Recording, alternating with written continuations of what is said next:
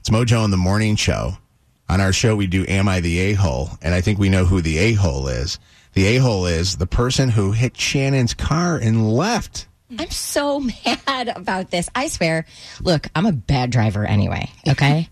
I couldn't get myself through the Jax Kar Wash line a couple of months ago without running into something. I take full blame for that.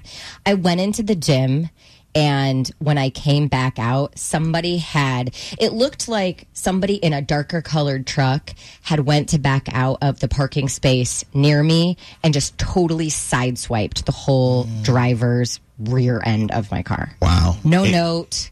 and you know- no nothing. You know this because of the mark. It left a, that mark. Uh, It is- left not only a mark, like it can't be really buffed out, like it's a, it's in there. It's Mm. a, it's a good scratch.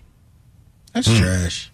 What happens when you get hit in a hit and run? Because we were having this discussion uh, before we went on for this, and we were talking about, well, it's you know we got that stupid uh, no fault insurance stuff here, and uh, it doesn't matter. But I think that's a that's got to be a criminal, right? That's That- leaving the scene of an accident. Well, so it, ha- the, I know this gym has cameras in the parking lot.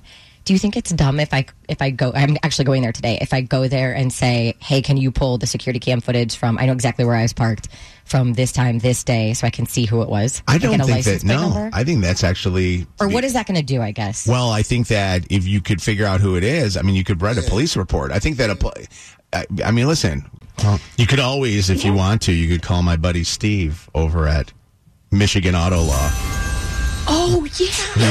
oh. That was pretty. That was pretty good out of nowhere, That was wasn't pretty it? good. Yeah, it's like, yeah. Hey, anytime I uh, say, "Hey, want to go to lunch, Steve?" at Michigan Auto Law, that thing kind of just goes right off. And now for like the next week too, you're just gonna look at black car, black trucks, and be like, "Oof, I wonder if it was you. Mother I wonder if it was you." Yeah.